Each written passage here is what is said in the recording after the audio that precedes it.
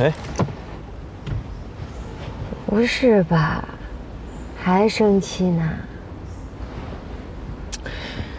哎，我明白你用心良苦，是想缓和我和杨戬的关系。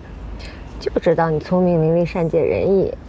但是，以后不准占用我们俩谈恋爱的时间。小气鬼！我不仅小气，还很会讨债。我知道，想吃你亲手做的饭，怕是靠不住了。要送我什么礼物，你再好好构思构思。讨债鬼！这点我不否认，我的确是你的债主。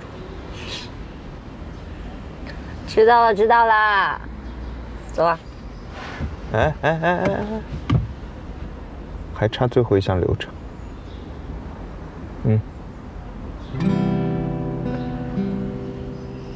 嗯。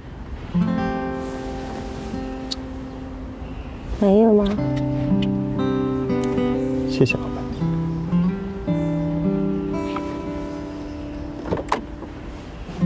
嗯。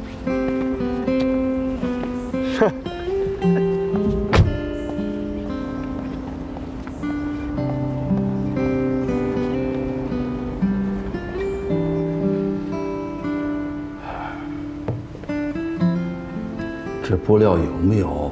我不敢肯定。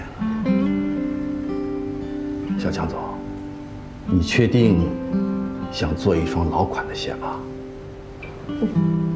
然后，我还想亲自车一点图案上去。嚯，要亲自车啊？哎呀，好吧，那我找找看。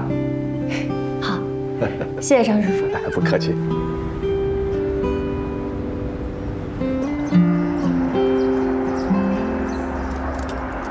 这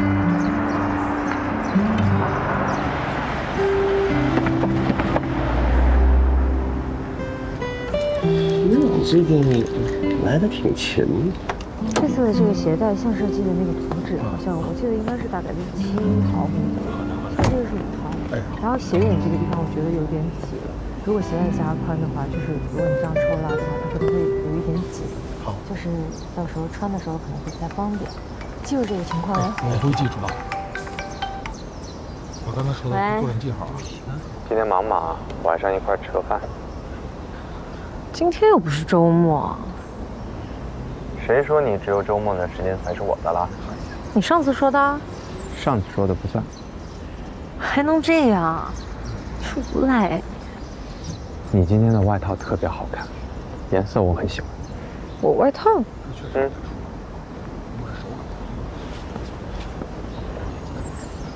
Surprise！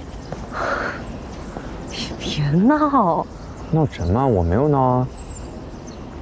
什么时候学会这一招的？我可是郑重的邀请你晚上一起吃饭。我警告你啊，你别闹啊！你看着。江小姐，我可是打定主意、正儿八经的想和你好好的谈个恋爱，麻烦你也拿出点诚意来好吗？怕了你，现在下来。